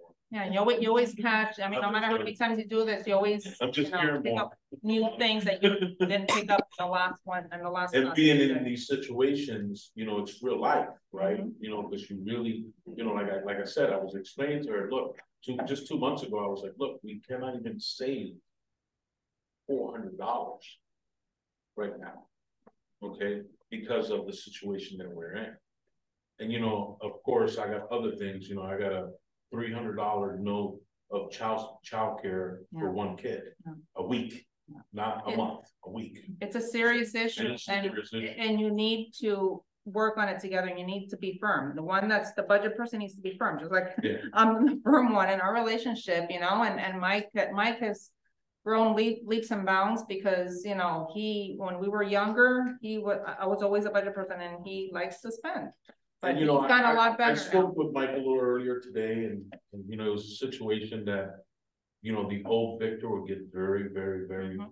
very upset. And, you know, I'm just a new Victor. I, I'm not gonna get upset. I'm just gonna, the only thing I could do is just show you where we Yeah. are. That's all I can do. You know, Let me share with you guys, good, good stuff, guys. Let me share with you guys another example, the case study that we just went over. This is another case study in his book. And he talks about Ben being nineteen, Arthur being twenty-seven. Each of them investing a year, two thousand dollars into a money market. And maybe you, Robert, you can kind of, uh, jump in on this a little bit, okay? But for eight years, Ben's putting two thousand dollars a year into, a- into a market. Into, into whatever that, and Robert can elaborate on that. By the end of the eight years, okay, he's, he's already saved, he's already invested, uh. Twenty-seven thousand five hundred and fifty-one is what money's, what he's gotten in return by having it invested, okay? Um, doesn't start until he's twenty-seven years old. He hears about this, he maybe did up to you and all saying, you know what, I, I need to start doing this. And he jumps in at age twenty-seven and starts putting two thousand dollars a year. And he does this for sixty-five years. Ben stopped at age twenty-seven. he no longer touched the money. It's in the market, doesn't touch it for the rest of his life until he's sixty-five, doesn't touch it until he's sixty-five. After, by the time he gets to sixty-five years old, Ben has two million, two hundred and eighty-eight thousand, and two hundred and eighty-eight thousand, nine hundred and ninety-six dollars. That's how much these eight years gave him in return by the time he's sixty-five. Because he started early. Ben kept putting two thousand dollars in, all it takes sixty-five, and all he gets back is one million, five hundred and thirty-two thousand, one hundred and sixty-six. Bobby, you wanna talk a little about that? Yeah, so that's a, that's using uh, an example of a, like of a growth mutual fund. Right, so in that example, Ben puts in the least amount of time, but because he started early, the rest was just compounding. Do you all understand compounding? I don't wanna make any assumption. Uh, can you tell me what that term actually like means compounding? Yeah, so it means interest upon interest upon interest. So when you, whenever you go to the bank and you, you put in money. You deposit something, they pay you interest on your hundred dollars, let's say. Right, then that hundred dollars becomes hundred and five dollars. Now you get interest on that hundred and five, plus now you've got hundred and seven. Now you get interest on the hundred and seven, plus the interest you've already earned. So it's interest, your principal, plus interest, plus interest of principal, and it just multiplies. It's not simple interest. Simple interest is where you just get one percent for the whole year and that's it. So your hundred dollars goes to one oh five, whatever that is, right? Five percent or whatever, and then that's it. There's no compounding on top of that. It's simple interest. So sometimes they'll say, oh, you get five percent for five years, simple interest. That means you're getting one percent every year. That's not compounding. That's not a good way to grow money. But the, the, the example here is if you started early, and I get it, it's like, well, hey, you know, if I'd started early, Robert, you know, but hey, pass this on to your kids, you know? Pass this on to, to, to young people because that makes a big, big difference. Um, but what I will tell you guys is that, you know, it's funny, I just keep thinking that the Bible, it says that there's no condemnation, right? Like, hey, what you didn't do, you can't go back and change it. So it's what you do now, okay? It's what you do now. Because now you're responsible for what you've just heard, right? And I'm just gonna challenge you guys, is what you're doing working? If it is, great. If it's not, this works. This works out. I, I just want to speak to what you said, brother. Um, you know, I'm a big fan of the, the dry erase board. My wife and I, we've been married eleven years.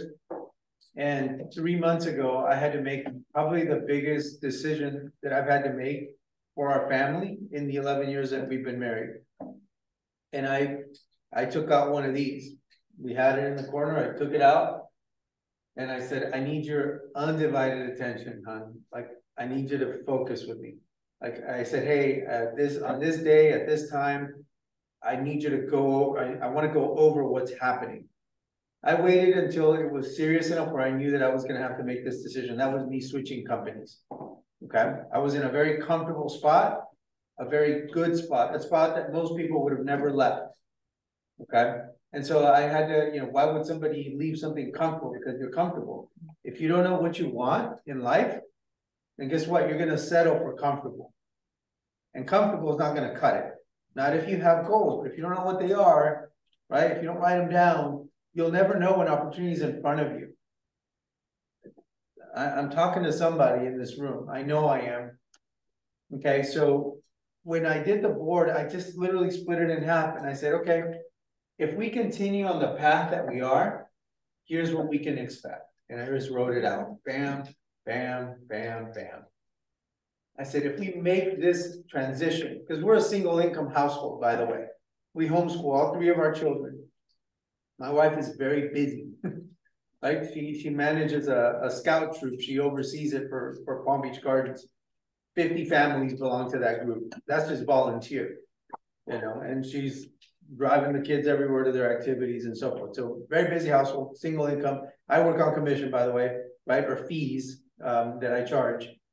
But so for me, I'm in agreement with you, at least six months of emergency savings, right? If, if something happens. Um, but when we did this, the second part was, here's what we want. The things that we talk about, if you don't talk about what you want with your spouse. If you just kind of like, well, I've got my goals and dreams, yeah, but if you haven't communicated that with your spouse. Or even ask them like, hey, what do you want? What do you see? What would you like to see for our family? How, you can't expect them to do the things that are necessary to fulfill an outcome that they're not aware of. Am I making sense in mm-hmm. saying that? So that could look like a piece of paper for you. I'm a big fan of this. Maybe it's because I, I like to teach. And we just wrote it out. And then I said, if I don't have your buy-in, I'm not doing it. I'm gonna say that one again. If I don't have your buy-in, I'm not doing it. Because that's where the rubber meets the road. If this is the future that we want, then we're gonna have to make the change. We're gonna have to make the leap. And there was some faith involved, believe me. It was a leap of faith because I couldn't see what the other side's gonna be. And I'm still in that, okay? Um, and she said, okay, that makes sense. I said, well, in Jesus' name, let's go. But the difference was we talked about it, we laid it out, but we started with what do we want? What are we trying to get to? If that's not clear, you're gonna make mistakes. You're gonna make mistakes anyways, but you could avoid a lot of them. If you're not clear on what you want. If you haven't done that part, I promise you, it's gonna be hard to follow the rest of this process. You know, you guys get together as husbands and wives and say, what do we want? Like, what do we want?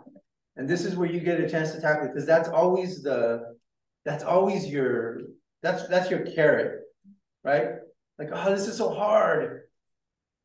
We, we, do we want this or not? Like, what do we want to do? But you're gonna be on the same page because you had to have been on the same page from the very beginning in order to pursue that. Okay? So I, you know, it's, it's great to be vulnerable and believe me, we, we made mistakes as well. Um, I, I could tell you that early on, I borrowed from my four oh one K twice, regretted ever doing that. Don't ever do that. I did it early on uh, in my working life and I made excuses and so forth. And yeah, I made the money. I made it back, but guess what? It didn't go back into saving. I just raised my spending until I finally realized and I, I finally learned like, okay, I, I can't do this. I got babies now. I got babies now. I got, you know, I've got a family to maintain. And you know what? That was so compelling that I said, I got to leave where I'm at because I need to make some hard choices. Okay, I'll leave you with this quote. I'll never forget it. You all know who John Maxwell is? Oh, yeah. So the first time I heard John Maxwell was in San Diego. He was doing a leadership summit for, you know, for pastors and business leaders. And he spoke for like an hour. I don't remember everything he said, but I remember one thing that he said, and I'll never forget it.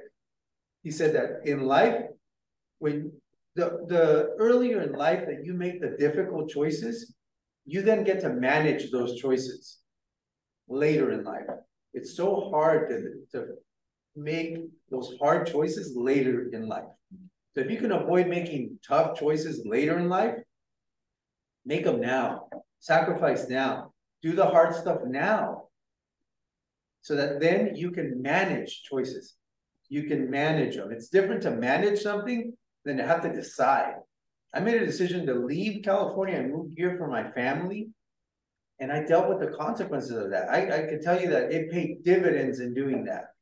And that was a decision based on my marriage. I said, I'm a I'm a husband now. I'm a father now. I need to make difficult choices, but I'm going to make the difficult ones first. And I've been living here 11 years. Never in a billion years could you have told me 20 years ago, hey, hey, what do you think about moving to Florida? I'm like, are you nuts? I live in San Diego.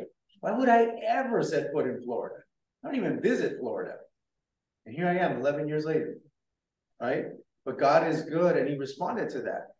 God will respond, guys. If you take that step and say, you know what, I'm going to do this in faith, I'm going to do it because it's the right thing for me to do, God's going to honor that. But it's scary. That's why many of you haven't cut up your credit cards yet, because you're scared. That's why some of you are going, but wait, wait, I mean, what if? It's because you're scared. There's fear. Well, what does the Bible say about fear? Do Every single fear. day, all day long.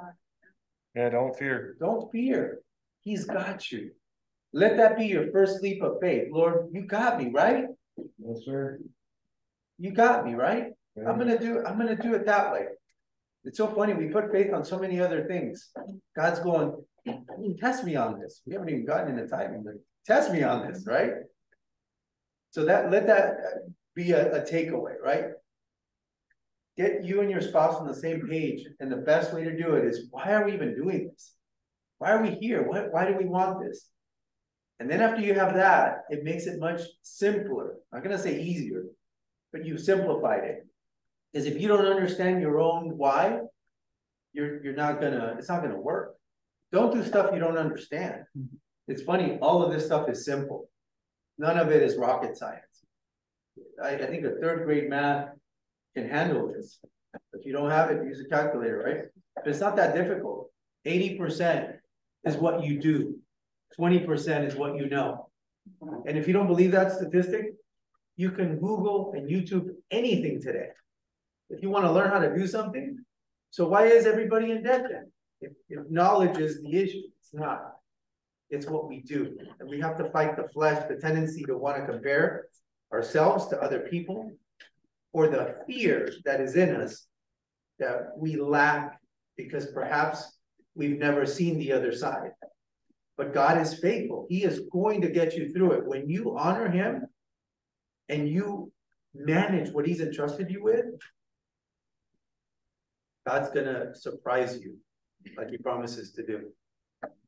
Thanks, Robert. Thank you, Robert. You Robert. know, we have several couples here that are not married, um, but are looking to get married, and that's probably one of the biggest debts that couples start right off the bat. Is when they get married, because they, they overspent what they could at, a- at, a- at their wedding ceremony.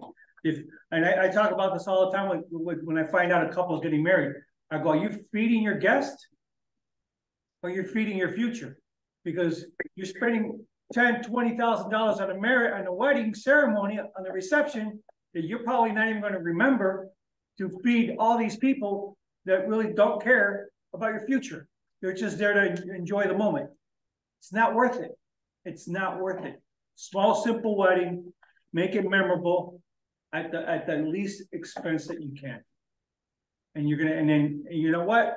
Those ten, twenty thousand dollars you would have spent in your wedding, think about those ten, twenty thousand dollars can go towards a home that you're gonna spend 20, 30 years in. That's where your money needs to go. You know, or a future vacation that you can actually afford and not get into debt and pay cash for. Those are the things. Um, I think if you don't mind, uh, we're gonna, we're gonna go into the ending of the lesson. We're just gonna read up the wrap up questions here, and then if you can just read through them if you don't mind, but go ahead, Lourdes. Um, Uh, so let's just turn to page 55. fifty-five. As a reminder, you need to complete these action steps before we meet for the next lesson. So Martha's gonna read these uh real quick. And then just real quick on, uh, if you turn real quick to page fifty-eight.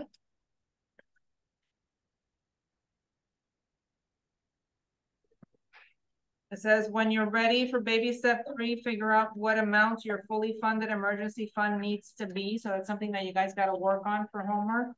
Also, come to this page and write that number down. When you reach your goal, come back to this page and mark the date you finished baby step three. So um, for homework, uh, on top of the action steps, go ahead and read the next few pages on page fifty-eight. Um, to talk, to figure out um, how much you need for your uh, emergency fund to build that up. All right, Martha, slide. Action steps. It's time to live out what you just learned. Complete each of the action steps before the next session. Calculate your baby step three goal. It's time to protect yourself from Murphy. Before you can save three to six months of expenses, you need to figure out how much you need to save.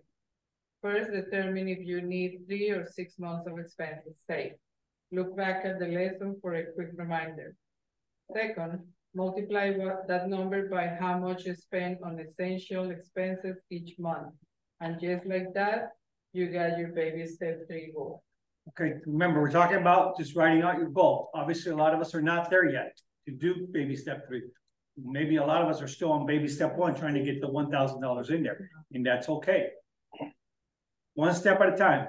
baby step one, then baby step two, goal with, the zone intensity, paying off all your debt. And now you're, you're, then you're gonna go into baby step three. Yeah. And that's, all we wanna know is just write that goal out, what is it that you want? And it could be that dream, it could be that marriage, it could be that, that vacation, it could be that car, it could be that home. Whatever that goal is, we wanna make sure that we have it written down. But Open a separate account. No matter which baby step you're on, make sure your emergency fund is in a separate account from your checking account. It needs to be easy for you to get to, but not too easy to spend from. Here are some options. A savings account connected to your checking account, a money market account that comes with a debit card or check writing privileges, or an online bank where you can transfer money quickly and directly to your checking account. Now, when Lourdes and I did this, we didn't want to put it in our check, uh, link to our checking account. Because you have a tendency to say, well, you know, we got an extra thousand dollars here. And if we need to, uh, write a- an extra check or spend a little extra, it'll just pull from our savings account. We said, no, no, no, we don't want to do that. We put our, we put our one thousand dollars in a whole different bank. Where we actually had access to, but not, but not easy, necessarily easy access to. We to. didn't have any, in other words, we didn't have any other accounts in that bank except that emergency Yeah. fund, so like That's what I yeah. told Manny and Sarina Right. last week, Yeah. because they asked me, and I said, open a different account with both of your names on it, but a savings account, and also access, also put it in your. And that, and then you have it also set up where it automatically withdraws from your checking account, Yeah, from your uh, when check I, at work. when I get paid, I have, I have an automatic withdrawal That goes. that goes directly to that that account. account, so we don't even, so we don't even have to like, ugh, you know what I'm saying, it's already gone, it's there automatically, okay, Latika? Track your transactions in EveryDollar. Make sure you stick into the budget you set by tracking your transactions. If you connect your bank to EveryDollar, this takes minutes. Just drag and drop the transactions into the right budget lines and you're done. Pro tip, this is also a great time to make an, any edits to your budget lines and see where you are accidentally overspending. Okay. Read exactly how much do you save for baby step three. On the next page. Want to see a real example of how to calculate your baby step three goal?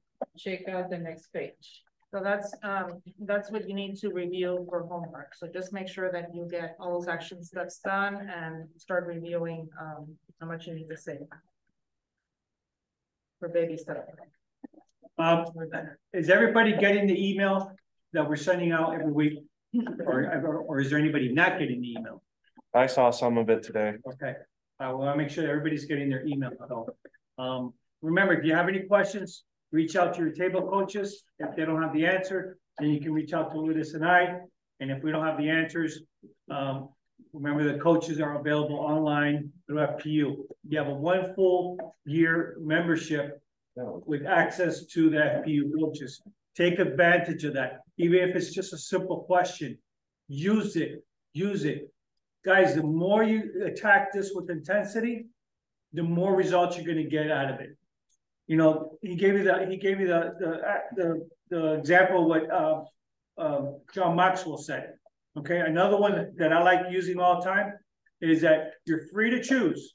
You're free to just sit back and you say, you know what, I'll just wait till next Tuesday and I'll open it up the day of the class and not go through it. I take this book with me to work every day. Every day I take this book with me to work. And on my downtime, I'm reading. I don't need to be watching all my social media stuff on my downtime, I'm reading. Yeah, I'll check my social media every now and then just because I, I, I do a lot of my witnessing through social media with people. You know, as, as a pastor, I, I, I, I try to see where people are at. But this is where I'm at right now because I want to help you guys and I want to help Lourdes and I to get in a better place. So we're free to choose. We can either go at this with all seriousness or we can just say, you know what, it is what it is. I, I invested eighty dollars. You guys invested eighty dollars.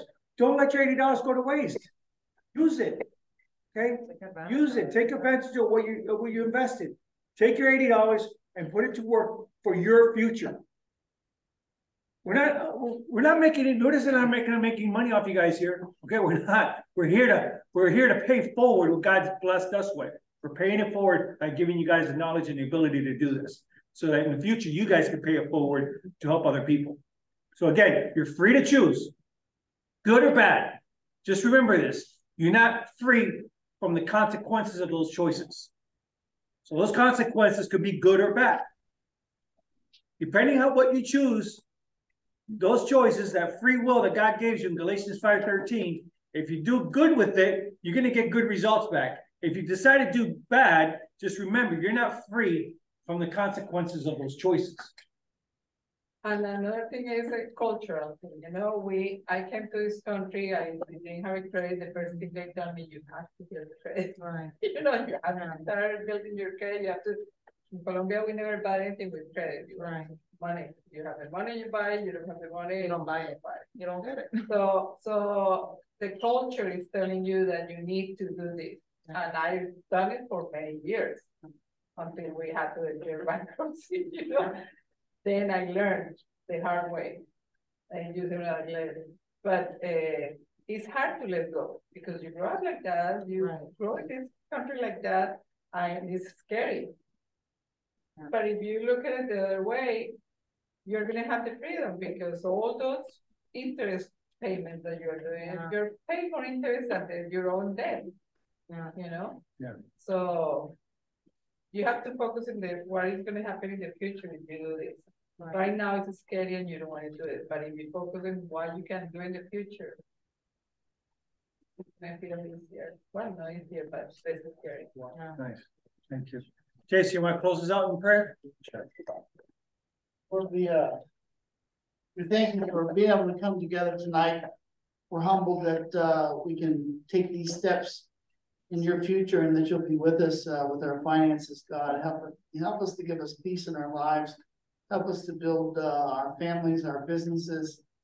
Um, so that we can feel comfortable and, and satisfied and, and, and humble in the prosperity that you give us, Lord. Help us, um, to heal those that need to be healed, continue to give us travel mercies any place we go. Protect us from the evil one, Lord, and, uh, we thank you, Jesus, amen. Amen. All right, guys online, thank you for joining us. We'll see you all next week. All right, Alex, feel better, brother. Uh, Robert, Robert, about two minutes of your time.